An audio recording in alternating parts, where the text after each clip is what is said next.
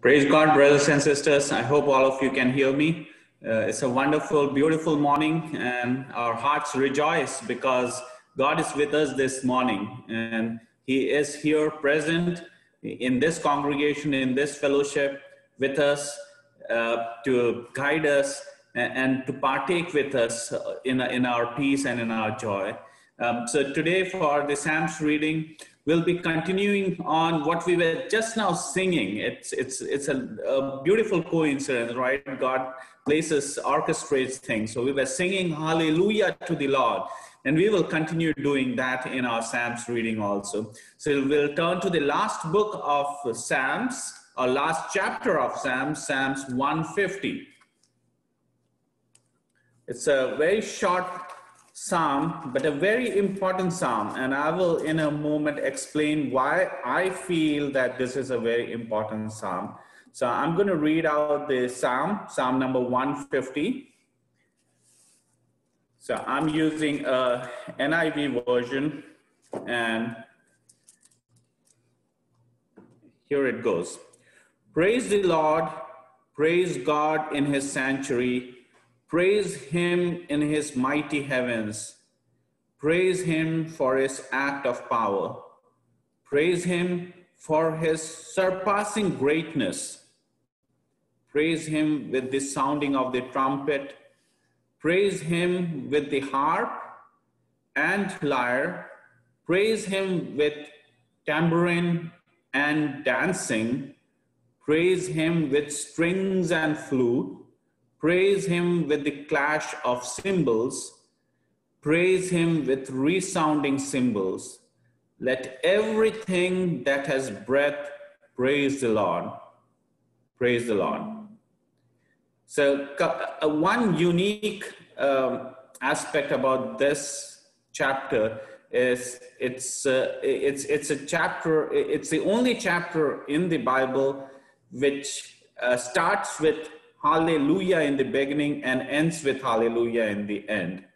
So the, uh, the, the, the, some of the versions like the MSG version or the, uh, uh, uh, the, CSB versions, all those uh, note the first and the last version as praise, as hallelujah. The praise the Lord is nothing but hallelujah or the Hebrew word hallelujah. So this is the only, only chapter in the book in the, in the Bible where it starts with a hallelujah and hence with a, hallelujah. So this book, this chapter has very clear message. One, we need to praise God.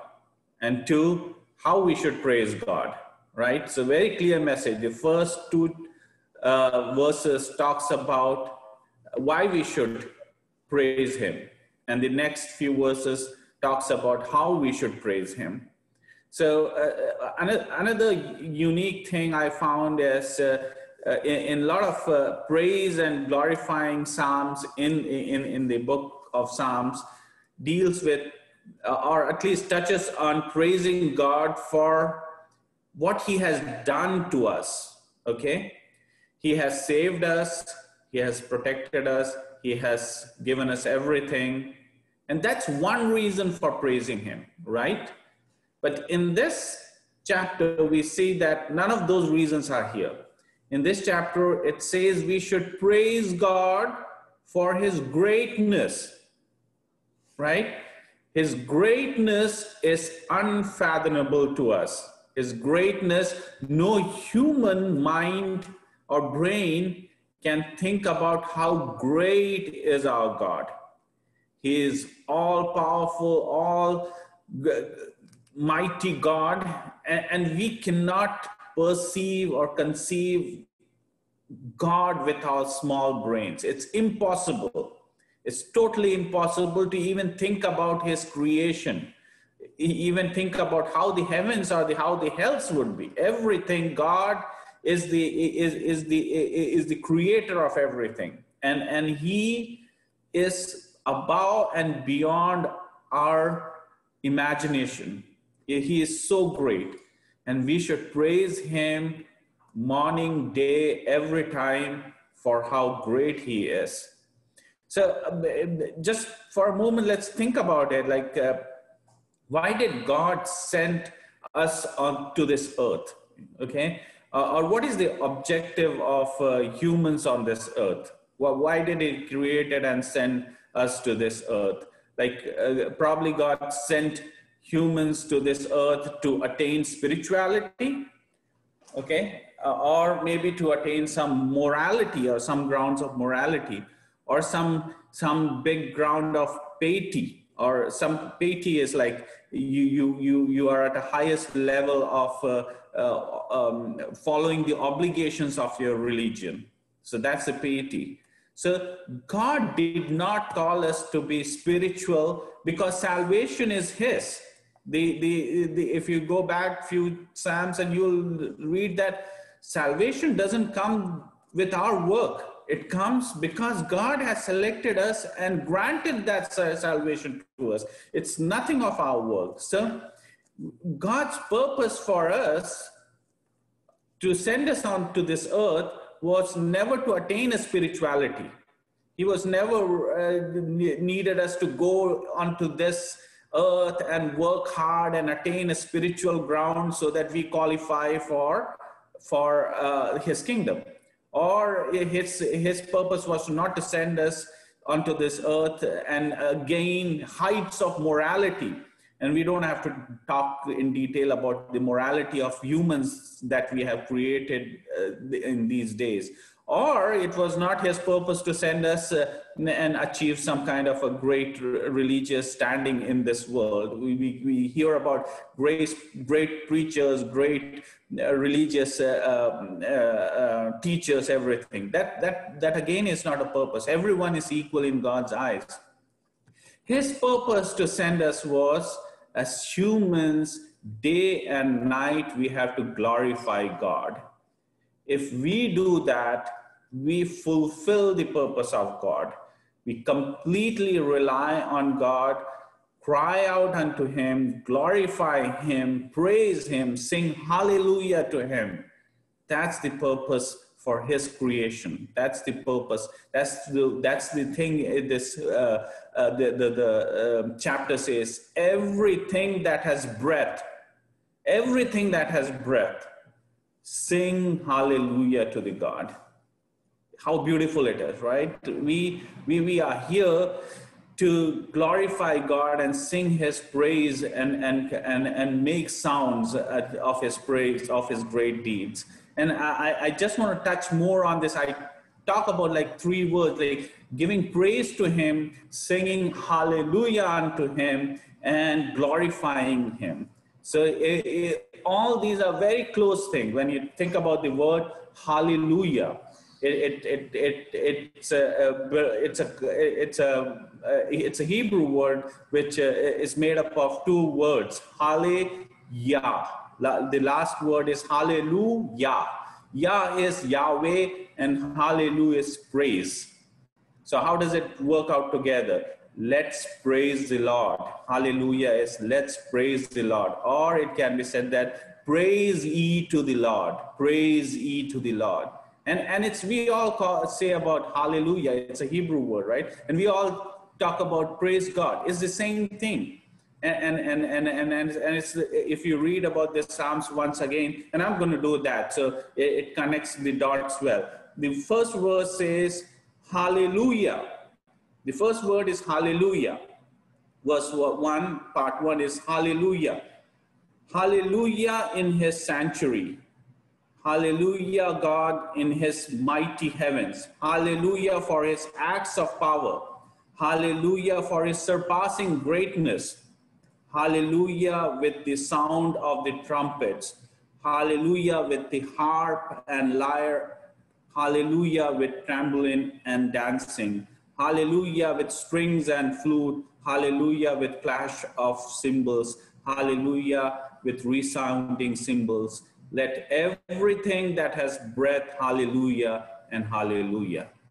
So it's so beautiful, right? We, we, we, we see that the praising God, singing hallelujah unto him. This is a song. This is a psalm. This is a song. Like we are singing and there's a song, uh, raise your hallelujah unto him, right? So that's a very famous song. And that's what we, we call out unto him and praise him for how great he is. And, and if, we, if we go on and uh, continue again reading this thing, it's a same word if you, if you take off the praise word and put glorify, and that also fits well over here. And there's a very small difference between the word glorify and praise.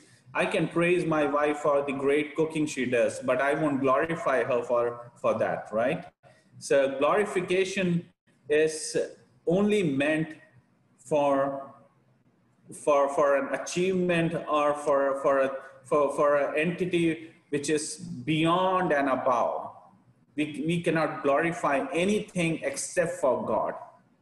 Period. Nothing else can be glorified than God. We can praise everything, but glorifying only our glory should only and only go to God alone. So if we look at it, the verse says, Glory to the Lord, glory to the God in his sanctuary, glory to him in his mighty heavens, glory to him for his acts of power, glory to him for his uh, surpassing greatness, glory to him with the sounding of the trumpets, glory to him with harp and lyre, glory to him with tambourine and dancing, glory to him with the strings and flute, Glory to him with the clash of cymbals. Glory to him with resounding cymbals. Let everything that has breath sing glory unto the Lord.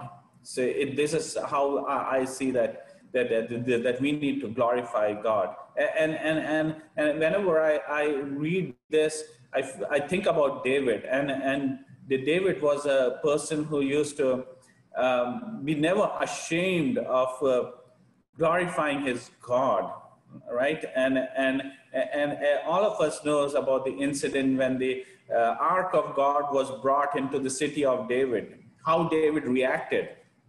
He was uh, crazy in, in human, in human um, uh, terms, he went crazy. He went dancing and he went uh, uh, totally crazy in amongst the crowd, amongst his people.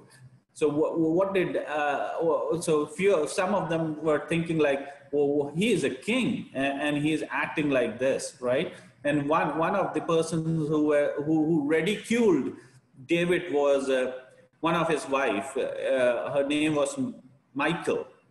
So uh, she said, uh, complained to her, don't you feel ashamed to dance like that in front of all the slave girls there? And and it's it's it's so great to hear to his response. And i don't remember but let's turn to that thing. It should it it's a second samuel's chapter 6 and i'm going to read out quickly for the sake of time. And and david says i will become even more undignified than this. So this is, I'm reading from Second Samuel chapter 6, verses 22. So when, uh, when Mich Michelle uh, or Michael, I don't know the right pronunciation, Michael uh, ridicules David and says that how can you uh, dance like this in front of uh, your, your, your ruler and how can you do that? And, and what the David's, and David, King David answer was, I will become even more undignified than this. And I will be humiliated in my own eyes. So that's what he wants to say over here.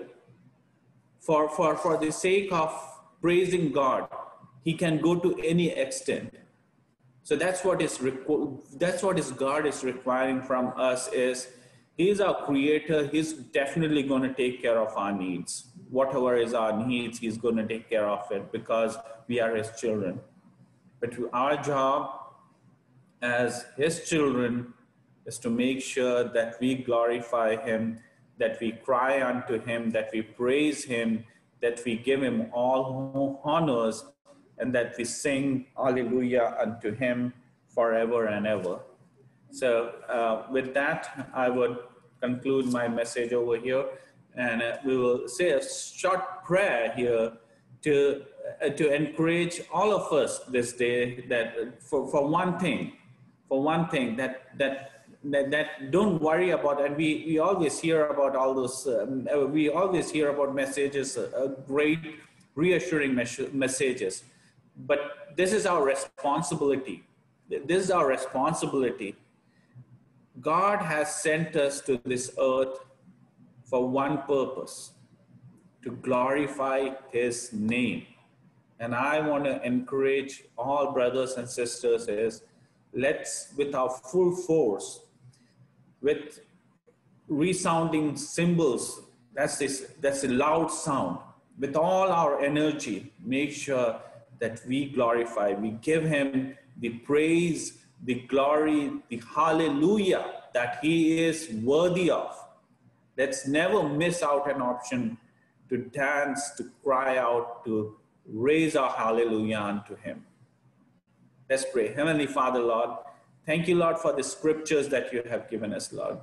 We as human beings cannot fathom the, your greatness. You are beyond our, our, our little brain, Lord.